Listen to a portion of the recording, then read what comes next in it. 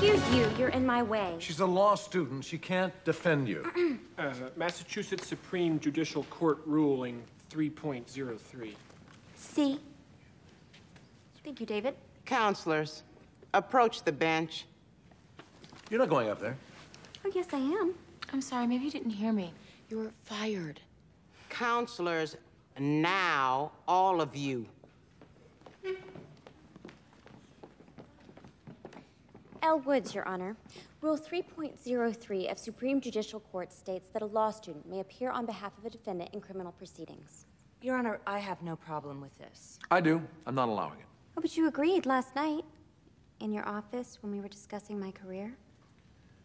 The ruling also states that you need a licensed attorney to supervise you. Mr. Callahan. That I won't agree to. Uh, I'll supervise, Your Honor. Well then, Ms. Woods, proceed. Thank you, Your Honor.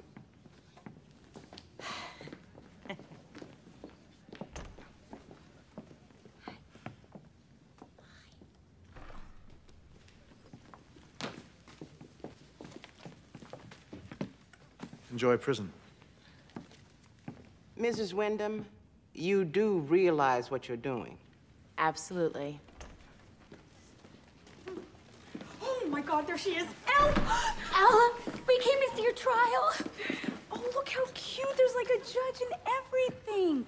And jury people. Vote for Elle! Ladies, take a seat.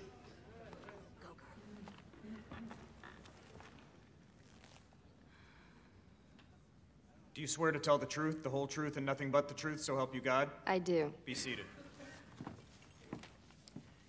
Ms. Woods, you may begin your questioning. Um, first of all, I would like to point out that not only is there no proof in this case, but there's a complete lack of um, mens rea, which by definition tells us that there can be no crime without a vicious will.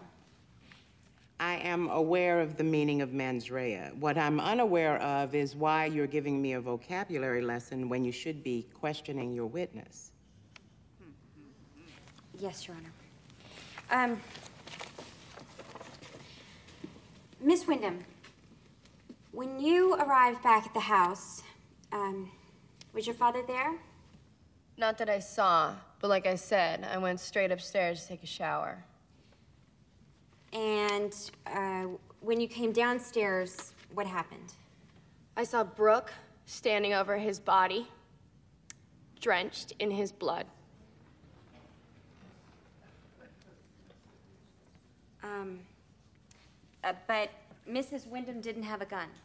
No, she'd stashed it by then. Move to strike that from the record, Your Honor. It's speculation. So stricken.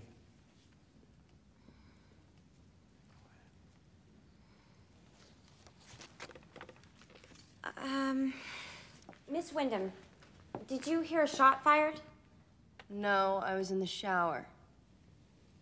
Okay. So, sometime in the 20 minutes that you were in the shower, your father was shot. I guess. Your father was shot while you were in the shower, but you didn't hear the shot because, um,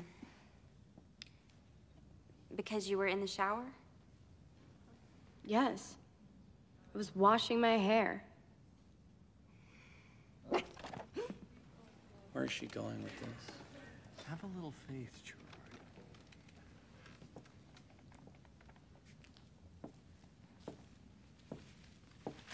Um, Miss Wyndham, what had you done earlier that day?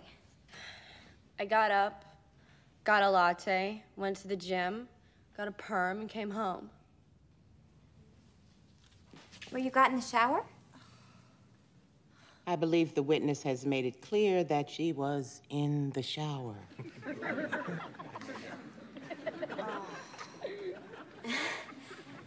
Yes, Your Honor. Um, Miss Wyndham, had you ever gotten a perm before? Yes. How many would you say? Two a year since I was 12. You do the math. You know, a girl in my sorority, Tracy Marcinko, got a perm once. We all tried to talk her out of it. Curls weren't a good look for her. She didn't have your bone structure. Oh. But thankfully, that same day, she entered the Beta Delta Pi wet t-shirt contest where she was completely hosed down from head to toe. Objection. Why is this relevant? oh, I have a point, I promise. Then make it. Yes.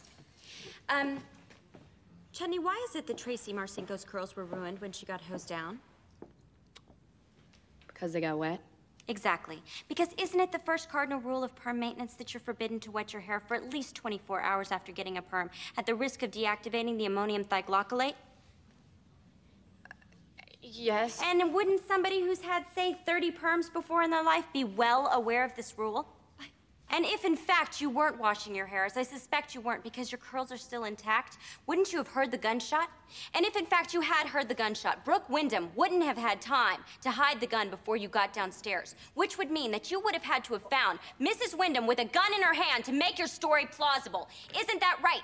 She's my age. Did she tell you that? How would you feel if your father married someone who was your age? You, however, had time to hide the gun, didn't you, Chutney?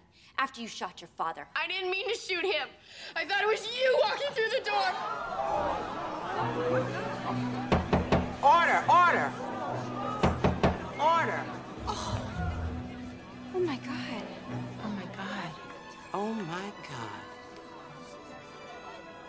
Bailiff, take the witness into custody where she will be charged for the murder of Hayworth Wyndham. In the matter of the state versus Brooke Wyndham, this case is dismissed. Mrs. Wyndham, you're free to go.